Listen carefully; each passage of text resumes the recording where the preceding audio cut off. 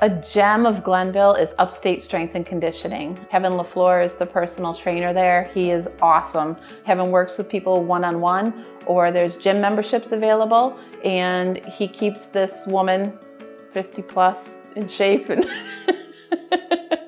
getting better every year. He does individualized plans and he's really committed to helping the capital region become a healthier place.